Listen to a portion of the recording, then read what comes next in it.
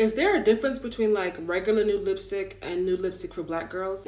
I think there is because this set of lipsticks right here, look at these tones. From the reds to the browns to the nudes, they are perfect for black girl skin.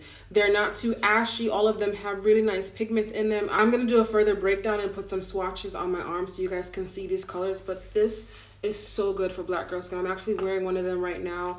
They're matte, but they don't make your lips feel dry and they stay on for at least four or five hours without having to like reapply. This is not like a partnership or anything. I purchased these, but I really, really love them and I do not gatekeep. Color Kiss Matte Lipstick Collection and it's bomb.